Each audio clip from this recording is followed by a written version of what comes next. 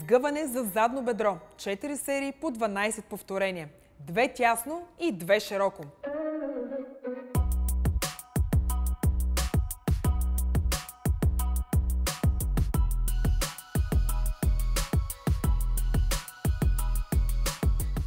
Тяга с лост. 4 серии по 12 повторения. Отново две тясно и две широко.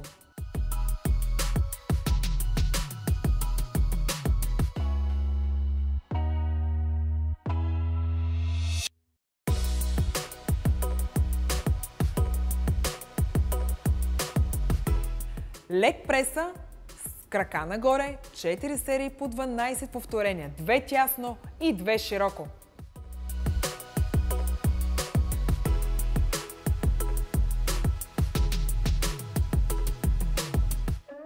Хип тръст. 4 серии по 15 повторения.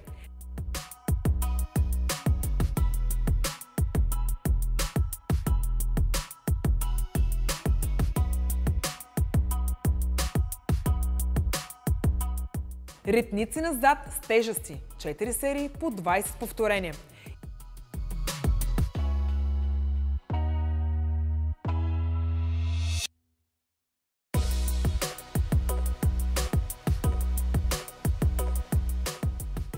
Изнасяне на крак в страни с кабел, 4 серии, отново по 20 повторения.